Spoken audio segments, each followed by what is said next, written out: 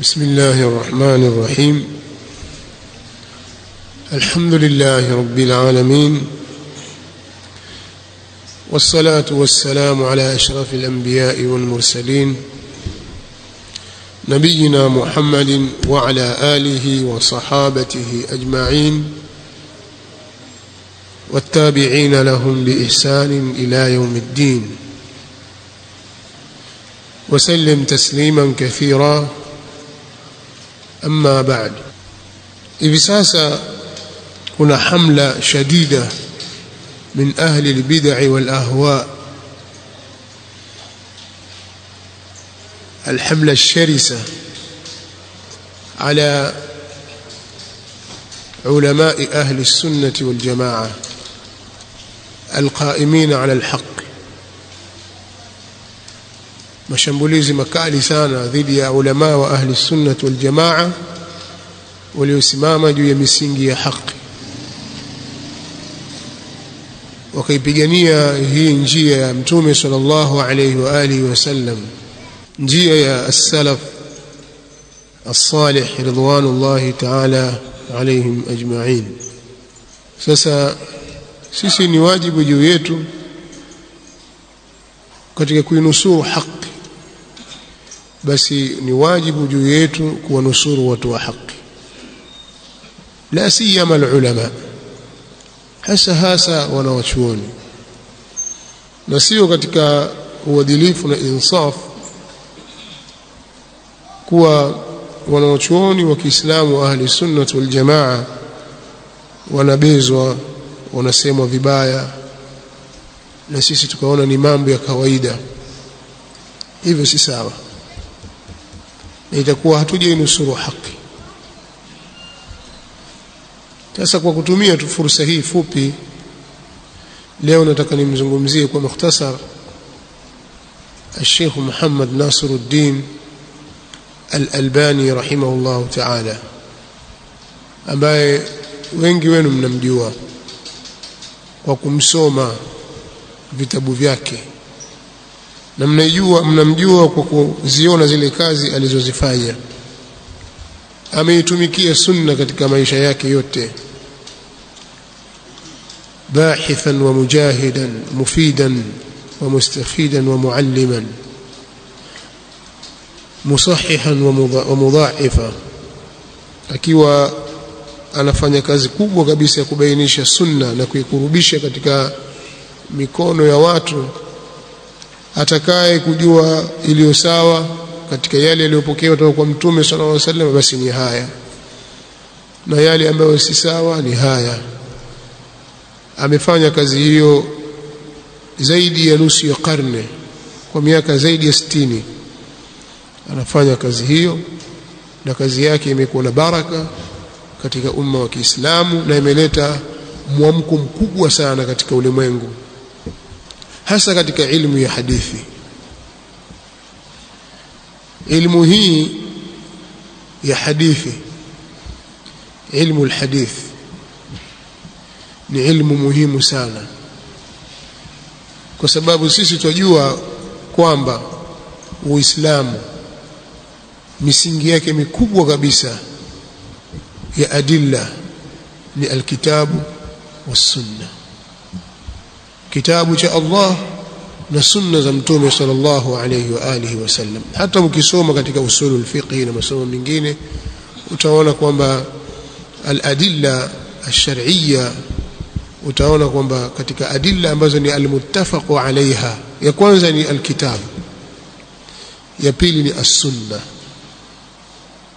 alafu ndio inakuja al-ijma' kisha ndio al-qiyas alkitabu was-sunna hivi vitu viwili ndivyo vinavyosimamisha uislamu. Na hivi vilivyobakia hivi vilivyobakia alijma'u walqiyas vinategemea hivi viwili. Tegemea alkitabu na as-sunna. Sasa sote tufahamu kwamba katika Qur'ani hakuna aya iliyo dhaifa. Wala hakuna aliyefanya jur'a. Aliyefanya ujasiri akatunga aya akaiingiza kwenye Qur'an. Hakuna. Kwa hiyo Qur'an twasema kwamba ni qati'iyu thubut. Wa na'taqidu jaziman na'taqidu dhalika jaziman au naatakidu dhalika jazimin. Sisi tunaitakidi kwa hilo katika hali hiyo kwa kukata hasa kwamba Qur'ani yote iko safi min haithu thubut.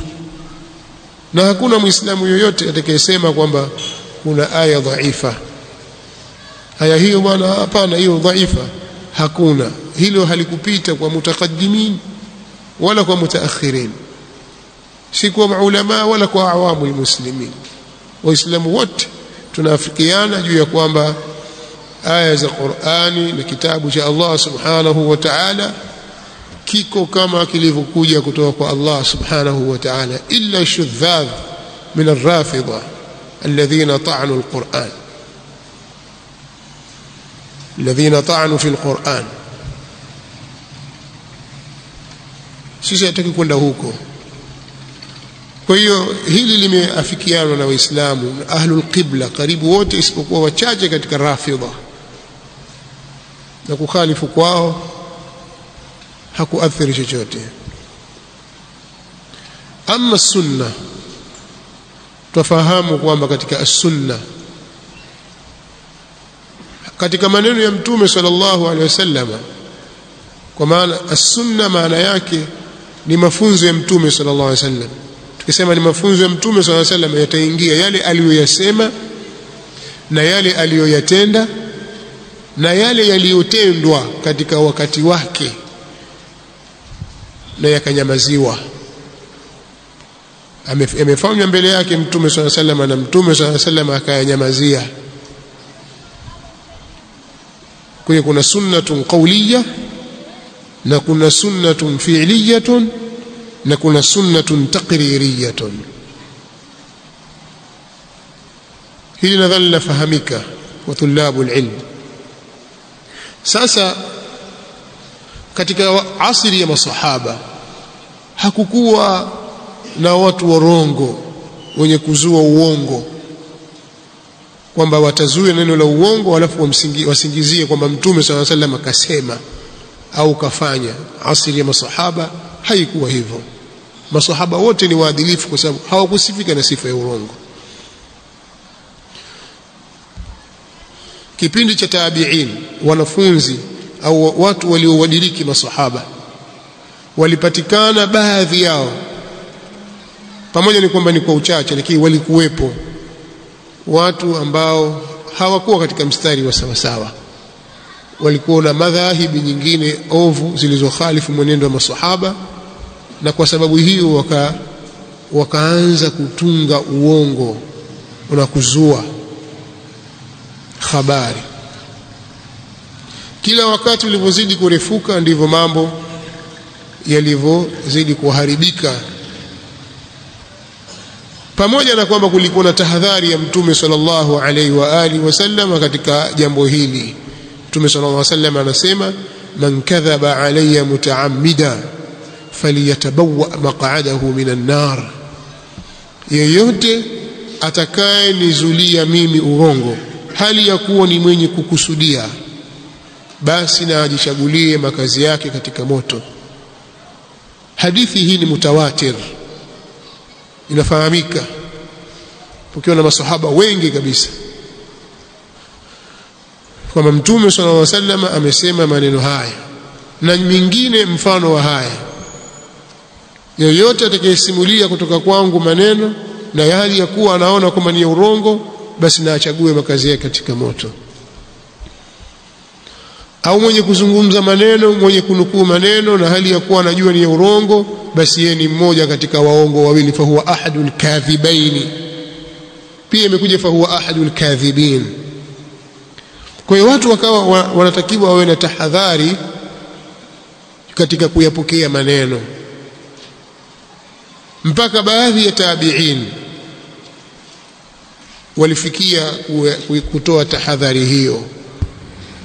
Wana maneno mazuri kabisa. Ikawa alhaddul fasil yani mpaka wenye kupambanua baina ya watu waliokuwa wakitaamali waki kwa ukweli hasa katika mafunzo ya dini na baina ya wale ambao na mchanganyiko wa watu ambao sasa hawakuwa wakijali ni kutoka maktalu Uthmana ibn Affan radhiyallahu ta'ala anhu wakati ule ndipo pale aliposema uh, ibn Sirin ibn Sirin eh?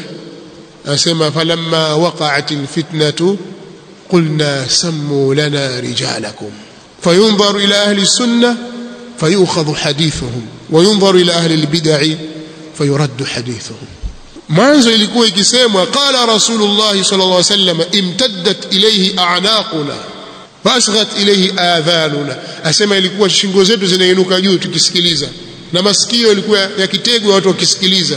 Kumesemwa nini na mtume sallallahu alaihi wasallam? Hapo zamani. Lakini falamma waqa'at alfitnatu wakati ilipozuka fitna baada ya kuuliwa Uthman radhiallahu ta'ala anhu kukawa kuna kundi la sabaia wafuasi wa Abdullah ibn Saba.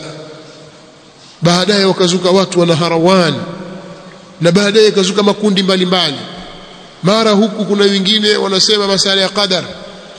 Fitna ilipotokea na pakawa pametokea makundi na ahwa. Ikawa mtu sasa akisema qala rasulullah sallallahu alaihi wasallam wale saadatu tabi'ina wanamwambia sammu lana rijalakum. Tutajieni watu wenu. Amman rawaitahu amman umepokea kutoka kwa nani kutoka kwa nani? Taja. Haya maneno wewe umeyapokea kwamba wasema mtume swalla sallam amesema. Wewe kakwambia nani? Sema. Umtaje uliyemsema.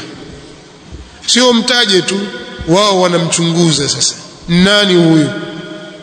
Huyo shekhe wako aliyekusimulia maneno hayo ni nani? Fayundharu ila ahli sunna. Hapo sasa utazamwa ahli sunna fayukhadhu hadithuhum. Inachukuliwa hadithi zao wayundharu ila ahli albid'ah fayuraddu hadithuhum. Na utazama watu wa bid'a yakarudishwa maneno yao. Kwa sababu ahli albid'ah kazi yao ilikuwa ni kusema urongo. Hii kazi ilianza katika ilianza mapema kabisa katika zama za tabi'in. Katika zama za tabi'in kwa maelezo haya na maneno haya ameyataja alimamu Muslim rahimahullahu ta'ala katika mukaddima wa sahihi yake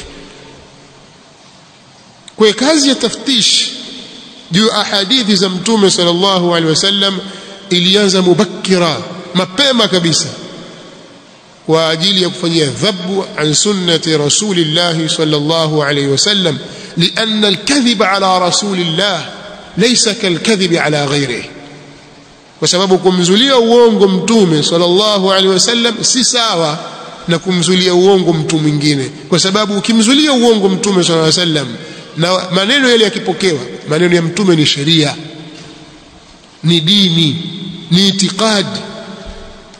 Kwa hiyo utaka kuwajengea watu itikadi ambayo sio unataka kuwajengea watu sheria ambayo sio kinyume kumzulia uongo mtu mwingine. Na madhara yake ni makubwa kabisa. Ni moto.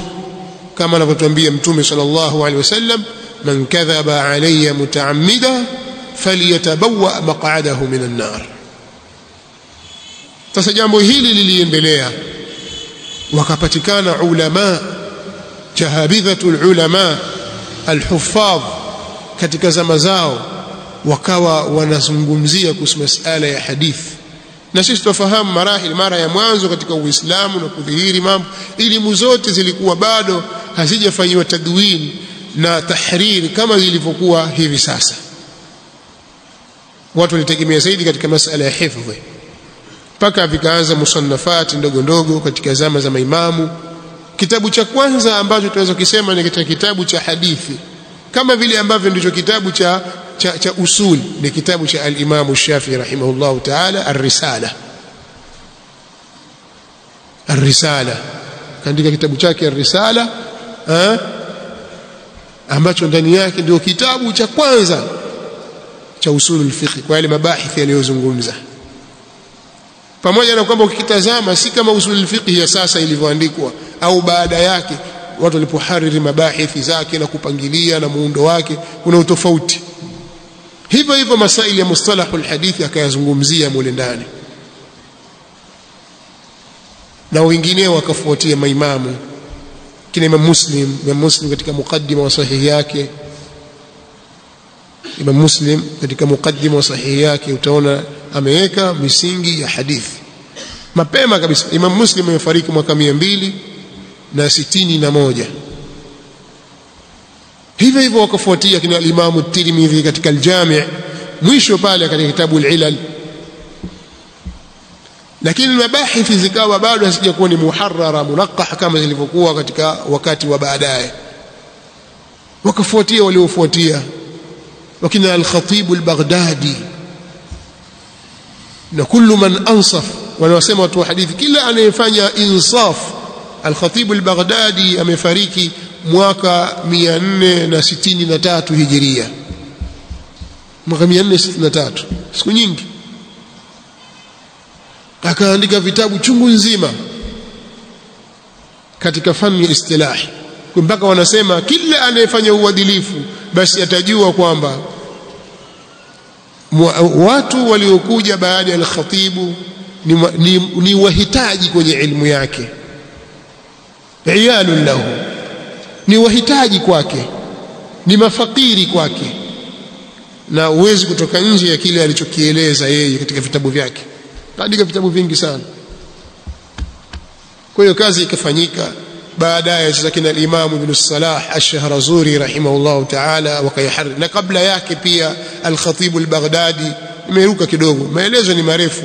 Lakini wanawachuoni waliotangulia kina al-Imam al-Hakim al-Hakim Abu Abdullah an-Naisaburi ana maarifatu ulumi al-hadith na amefariki mwaka 405 siku nyingi mwaka 405 zaidi ya miaka 1000 iliyopita الإمام أبو عبد الله النيسابوري رحمه الله تعالى الكتاب معرفة علوم الحديث na yeye ametanguliwa na wengine baadaye ndo akaja al-Khatib al-Baghdadi wa mwaka 463 baadaye wakaja wanawachuoni wengine. Wakaja kina an-Nawawi. Mwaka mwaka 600 amefariki. Na wengineo kina Ibn Salah ash-Shahrazuri. Na wengineo katika wanawachuoni wa ahli sunnah wal jamaa. Na wengine wakazigawa zile ilmu za ulumul hadithi ad-diraya zikagaiwa katika kipengele. Hizi ni elimu zinafungamana na istilahi ya hadithi katika hizi hapa kuna ilmu wal jarh wa ta'dil. Kuna watu wamebobea katika fani hizo. Kimwangalia ibn abi hatim katika muqaddima wa kitabu chake kina ibn adi na wengine wameweka zile mabahith za ilmu ya aljarhi wa ta'dil kwenye hivyo vitabu. Kwa hiyo vikaandikwa vitabu maalumu vya aljarhi wa ta'dil. Katika upande wa kuchunga zile alfadh kwa sababu hili ni jambo muhimu sana zile hukumu zinazotolewa na wanawachuoni kuhusu wapokezi. Fulani kadha fulanun kadha fulanun kadha. Usije ukaona ni maskhara kwamba watu ah fujo tu huyu asema hivi yule asema vile. La ile ni fani maalumu. Wamebobea kwenye fani hiyo watu wachache sana. Tangu zamani si leo tu si kila mwana wa chuoni katika wanawachuoni basi anajua elimu ya jarhi wa taadil na wengine wakaandika fani maalum katika ilmu ilal na vitabu maalumu vikaandikwa. Na si kila mwanachuoni anayejua mambo basi ajua ilmu ilal ni wachache pia. Sasa elimu ya hadithi ni elimu pana ni bahari kubwa sana. Mtu anayesoma vitabu vichache au vitabu vidogo tu akasoma mathalan manzuma albayquniya تيسير يا مصطلح الحديث يا الطحاني. أكسوم مثلا نخبة أو نزهة نزهة النظر ها؟ نمنظمات زاكي هايزي كوجوا هايزي كوجوا كينة علمه. أكوا من شيء هابتو هايزي كوجوا كينة علمه. ويبالني طالب العلم المبتدي. هذا يكون منذ كبيسة. Kama ni kwenye bahari basi yeye kwenye ufukwe. Eh? Anagaagaa na upwa. Hajaingia kwenye bahari. Bado hajajua kitu. Ameonjeshwa kitu katika zile ilmu ya mustalah alhadith. Kwa hiyo mtu wa aina hii hawezi kuzungumza chochote kuhusiana na masala ya ilmu alahadith wa dirasatu alasanid hawezi kwa sababu mule katika vitabu vile haya mambo ya ilmu ya ilal ilmu ya takhriji alahadith wa dirasati alasanid ambayo ndio amali yenyewe sasa elimu za ilal hazikutajwa mule kwa tafsili na misingi yake bali mtu kama huyu unaweza kumpa vitabu maktaba nzima kwamba kontena nzima vitabu vya hadithi hivi. Hebu tutolee baadhi ya hadithi hapo. Akashindwa kufanya hivyo kwa sababu hajui hata ile manahiji za muallifina walivyoandika vile vitabu vya hadithi. Kwamba vitabu hivi viko katika mfumo huu vitabu hivi katika mfumo huu vitabu hivi hivi. Kwanza kujua hiyo ni fani nyingine mbali. Tutafutie hadithi hizo katika al-mustadrak ya Imam Hakim tutolee hadithi sisi katika kitabu katika Musnad Imam Ahmad. Tutolee hadithi sisi. Unaweza kupata kazi kubwa kwa sababu wewe hujasoma ilmu ya hadithi inavyotakiwa. Sasa wanawachuoni wamefanya kazi kubwa wakajenga msingi huu. Sisi tumefanya uvivu kwenye kusoma. Ilipokuwa elimu hii iko hai katika wakati wake ahlulbidai wa zandaka walikuwa wakijificha hawathubutu. Imam Ahmad yule watu wakimbia. Daraqutni yule watu wakimbia. Hawataki kudhihirisha yale mambo yao kwa sababu sasa hivi yataumbuliwa mambo yao kwamba haya wanayosema ni kadhib.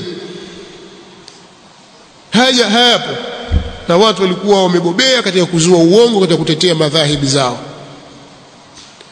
Sasa kuna watu wakawa wametuhumiwa katika jambo la hadithi kwa sababu ya hifadhi zao na kuna watu wametuhumiwa katika jambo la hadithi kwa sababu ya uadilifu wao. Wote hao wameorodheshwa majina yao yamo ndani ya vitabu. Ukitaka zile alkutubu sita wale musannifuna wale wa vitabu alkutubu sita zile vitabu vyao walivyoandika katika kutubu sita na vinginevyo.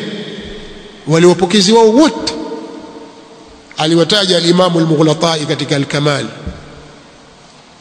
alipokuja mwanafunzi wa Ibn Taymiyyah al-Mizzi al-Hafidh al-Mizzi rahimahullah ta'ala akaifanyia tahdhibu ile akaandika tahdhibu al-Kamal fi asma'i ar-rijal huyu ni mwanafunzi wa Sheikh al-Islam Ibn Taymiyyah al-Hafidh al-Mizzi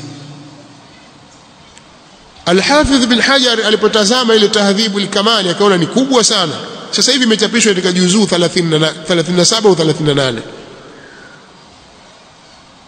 hiyo tahdhibu al-kamal. Akaona hii kubwa sana hii. Akaandika tahdhibu tahdhib. Lakini yote ataja majina ya watu na hukumu zao na akwali za wanawachuoni wale wapokezi wa ashabu al-kutubi sita wakatajwa mule. Kutubu sita kama sahihu al-bukhari sasa imamu al-bukhari ameandika al-jami' ameandika vitabu vingine mfano khalqu af'al al-ibad juzu al-qiraa juzu rafi al-yadayn na vitabu vingine. Sasa wale rijali wake wote katika vitabu hivyo wako pale. Imam Muslim hivyo hivyo. Imam Abu Daud hivyo hivyo. Asabu Abu Daud ana, ana sunan ana marasil ana vinginevyo katika vitabu. Na vyote ni musnada. Kwa hiyo rijali wake wametajwa kwenye vitabu vile. Sasa al-Hafidh bin Hajar alipoandika tahdhibu tahdhib akaleta kama kiasi cha juzu sita hivi katika baadhi ya chapa na nyingine yategemea na chapa lakini baadhi ya chapa zimetaka juzu sita nyingine juzu kumi. Nategemea na namna ilivyochapishwa hicho kitabu. Lakini baadaye pia kaona kubwa sana tuwasaidie mubtadiina akaandika takribu tahdhib katoka mjalladi mmoja. Wapokezi wote wa kutubu sita wako pale na hukumu yake ya ikhtisar. Fulan thiqa fulan kadha fulan dhaif fulan maqbul. Na hayo maneno yana maana na hayo maneno yana maana yanafahamika inda almuhaddithin. Sasa hili jambo limekwenda namna hiyo. Watu walikuwa wakitunga hadith na pia kuna ilmu maalum ya kuriwa alwad'u walwadha'in haraka za kutunga hadithi na watungaji wa hadithi na asbabu zilizolipelekea wao kutunga hadithi. Eh, kwa nini wanatunga hadithi za uongo na majina yao ni kina nani na kwa nini ilikuwa wafanya namna hiyo? Mukawama uliofanyika wa ahlul ilmi katika kila zama kwa watu ambao walikuwa wakitunga hadithi za uongo na zote zimeorodheshwa na ni ilmu maalum. Na kuna wanawachuoni wakaandika vitabu kuhusiana na almawdhuat akiwemo alimamu ibn al-Jawzi na wengineo. Sasa haraka hizi hazikukoma ziliendelea haraka hizi za kuzitetea sunna ya mtume sala sallama hazikuishia hapo. Kila wakati watu wakawa wanaendelea. Kuna wakati mwingine zilififia. Ikawa watu sasa katika darasa zao za tafsiri wakikaa kwenye tafsiri ya Qur'ani wanataja israiliyat. Visa vingi vya uongo. Vimetungwa na bani Israila na vingine vimetungwa tu na watu humu. Hivyo hivyo katika tarikhi au mwingine akikaa katika fiqhi yastadil bil yastadillu bil mawdhu'at au bidhi'af hata hadithi dhaifu wanatoa hivi. Wanazitaja zile hadithi kama ni hujja. Mpaka wengine wakatunga hadithi man qallada aliman laqiya Allah salima. Yoyote atakayemqallidi mwana wa chuoni basi atakutana na Allah hali ya kuwa salama. Na miongoni mwa watu waliokuwa na mchango mkubwa wa kutunga hadithi ni asufia wanawachuoni wa kisufi ili kuyapa nguvu madhhabi yao wakatunga hadithi nyingi. Hizo hazimo katika sahihaini wala katika alkutubu sita wala katika dawawini za sunna. Wao wananukuu tu wanaweka wana, wanaandika tu wanaweka. Hawajali. Lakini pia siku moja alikuwa tukisoma hapa sunanu abi daud katika utangulizi wa ile sunan abi daud tukawa tunaeleza kwa nini alimamu abu daud ameandika hadithi dhaifu katika kitabu chake. Miongoni mwa sababu tulizozitaja ni kwamba wanawachuoni wasiokuwa Bukhari na Muslim katika sahihi zao. Nisikize kwa makini. Wanawachuoni wasiokuwa Bukhari na Muslim katika sahihi zao muadhamu wao hawakujilazimisha kuingiza katika vitabu vyao hadithi sahihi. Hilo ni lazima mlielewe. Kwa hiyo wale ashabu alkutubi sita wale watunzi wa vitabu vile sita na kusudia sahihu al-Bukhari sahihu Muslim sunanu Abi Dauda jami'u at-Tirmidhi ambayo maarufu kwa sunan sunanu at-Tirmidhi sunanu an-Nasa'i na sunani ibni Majah hivi vitabu sita hivi ndio pana mzunguko mkubwa wa hadithi za waislamu katika mambo mbalimbali mbali. lakini pia ukiongezea Musnad Imam Ahmad ukiongezea pia vile vile uh, sahihi ya ibn Khuzaima na sunani ya sunani ya albayhaqi kadhalika sunani ya dara qutni na vinginevyo ukiviongezea juu yake hivyo pana mzunguko mkubwa wa hadithi za huu Uislamu Uislamu kwa asilimia kubwa hadithi zake zinazunguka humo. Lakini pia zipo viko vitabu vingine. Sasa katika hawa niliowataja hawa maimamu wawili Bukhari na Muslim wao wamejilazimisha kwamba hawataingiza katika vitabu vyao viwili hivyo ila hadithi sahihi. Kwa ule mtazamo wao wanavyoona kwamba hii ni hadithi sahihi anaiweka bali inasemekana kwamba alimamu al-Bukhari rahimahullahu ta'ala alikuwa haandiki hadithi yoyote kwenye kitabu chake ila ufanye istikhara kwanza anaswali rakaa mbili kisha anamuomba Allah jalla wa ala ndio anaiandika ile hadithi ameifanya kazi hiyo kwa muda mrefu mpaka akaandika ile jami ikamilika aljami'u as-sahih al-musnad min umuri rasulillah sallallahu alayhi wasallam wa sunanihi wa ayyamihi hiyo ndio jina la sahihu al-bukhari hii tofupisha tu sahihu al-bukhari lakini jina lake ni al-jami'u as-sahih al-musnad min umuri rasulillahi sallallahu alayhi wasallam wa sunanihi wa ayyamihi kakiandika kitabu vizuri kabisa na kiko katika martaba ya juu kabisa. Hivyo hivyo akafuatiwa na Imam Muslim baada yake ambaye ni mwanafunzi wake wakafuatia wengine. Na katika daraja sahihu al-bukhari iko juu kisha sahih muslim ومن ثم تصحيح البخاري قدمه فمسلم فما على شرطيهما kisha muslim kisha wale waliokuja katika sharti zao sasa hawa wengine wote hawa waliobakia wao hawakujilazimisha kwamba lazima tuandike hadithi sahihi katika vitabu vyetu kwa mfano Abu Daudi hakujilazimisha hilo labda atataja babu asiwak babu asiwak mathalan. Au babu alwudhu'i marratayn marratayn. Natoa mfano tu. Anataja hadithi zile ambazo zimemdhihirikia yeye kwa sanadi yake kutoka mashaikh zake kwamba hii ni hadithi sahihi ataitaja pale. Wala hasemi kitu anakuwekea sanadi tu. Lakini pia anataja hadithi ambayo haijafikia daraja usahihi. Maadamu ni hujja lakini wakati mwingine anakutajia na hadithi dhaifu lakini na sanadi yake. Akutajia hadithi dhaifu. Kwa nini anataja hadithi dhaifu? Wanawachuoni wanasema kwa sababu hapo zamani watu walikuwa wanashughulika na ilmu. Kwa hiyo man asnada faqad ahalak. Yule aliyekutajia isnadi kisha kutajia kwamba sanadi yangu mimi ni fulani katika hadithi hii ni mimi nimpokea kutoka kwa fulani na fulani na fulani na fulani kutoka kwa fulani. Amesema mtume sallallahu alaihi wasallam huyu kashamaliza kazi yake yeye kashakupa kasha nasaha hapo itazame mwenyewe hiyo hadithi hiyo. Sasa watu kwa sababu walikuwa wana maarifa ajua ah hadithi hii imepita kwa Ali bin Zaid bin Jud'an ameitaja Imam Abu Daud. Kumbe hadithi hii dhaifu. Yani yeye anakutajia sanadi ili ujue uone hawa watu wakoje hawa. Sasa wewe ulikuja baadaye usiseme kama hadithi dhaifu mbona kaitaja Abu Daudi? Abu Daudi kataja dhaifu. Ndiyo ndiyo ili akubainishie kwamba katika mlango huu pengine akataja hadithi katika mlango hakuna hadithi sahihi hata moja. Zote dhaifu ili akwambie anawaambia wapinzani wake au wale wanaotetea jambo hilo kwa hoja hizi. Zile hadithi zenu zote ni hizi.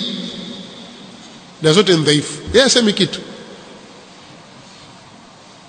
Hasemi kitu. Na hiyo ndio manhaji yake na ameandika manhaji yake maalum. Risalatu abi dauda ila ahli Makka, akawaandikia akaeleza manhaji ni risala ndogo tu kwa hajmi lakini ni kubwa kwa maana. Kwa hiyo wewe ukitaka kuisoma sunani ya abi daud. Soma ile risala yake kwanza. Ndio utapata muongozo. Ala kumbe hapa elekeza hivi. Kumbe hadithi hii hivi. Ndivyo anavyofanya alimamu Abu Dauda katika sunani yake. Na wengineo hii ni mifano tu unaipiga. Kwa sababu kuna watu katika akili zao imewapitikia kwamba maadamu hadithi iko ndani ya kitabu fulani basi hiyo itakuwa sahihi. Na anaitolea hujja kwa hiyo ikapatikana dhajja kubwa katika ulimwengu wa Kiislamu ikawa watu wanakaa wanatoa madarasa na wakataja hadithi za uongo tena hadithi za kuthibitisha mambo makubwa katika itikadi. Au hadithi ataka kupinga jambo ambalo lipo limethibiti lakini sasa kataja hadithi iko kinyume na ile na yeye anajenga hoja yake katika hadithi hii dhaifu. Na wanawachuoni wameweka masharti katika matumizi ya hadithi dhaifun kwanza hadithi dhaifu haitumiki katika masaili ya kiitikadi. Hilo ni jambo la kwanza si hujja. Kisha pia hadithi dhaifu si hujja katika masala ya ya kisheria.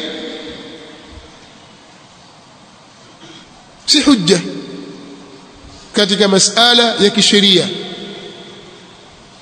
Na unapoitumia hadithi dhaifu useme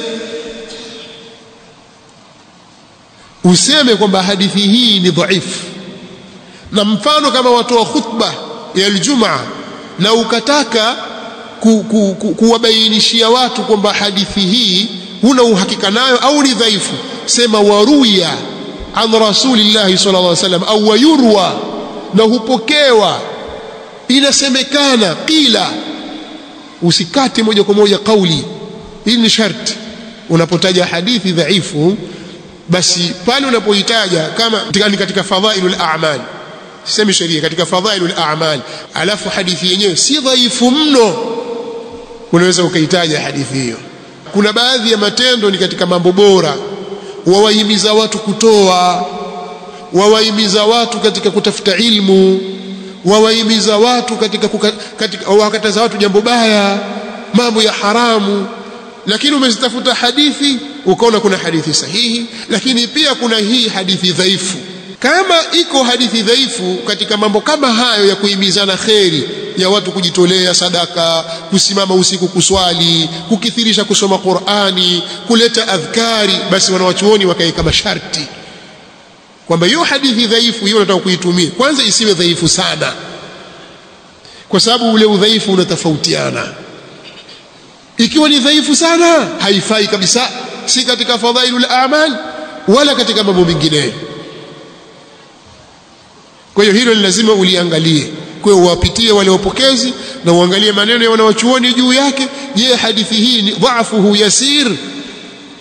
Hilo sharti. Sharti jingine.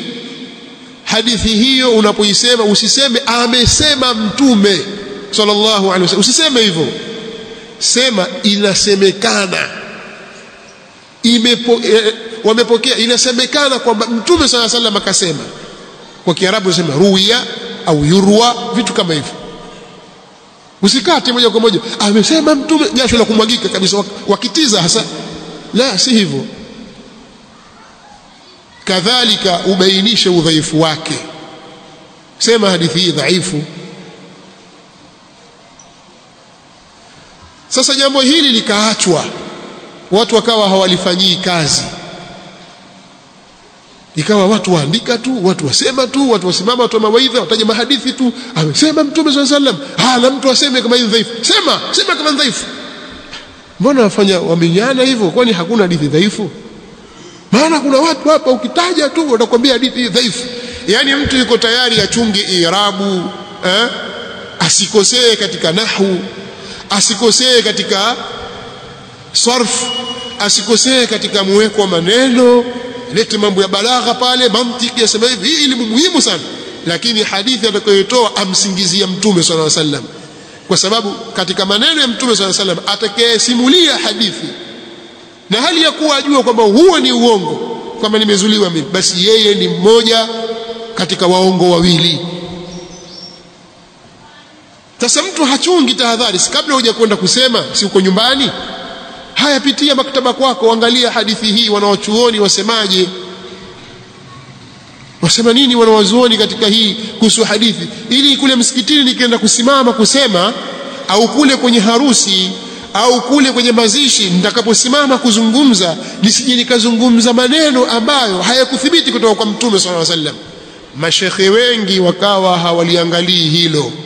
Wao wanaangalia hapa irabu hapa imekaja hapa mbona hapa mansubu hapa hapa mansub ala alhal. Ah, hapa mansubu binazi alkhafid. Waangalia hivyo tu. Angalia pia maneno haya. Je yamethibiti kutoka kwa mtume sallallahu alaihi wasallam? Au hayajathibiti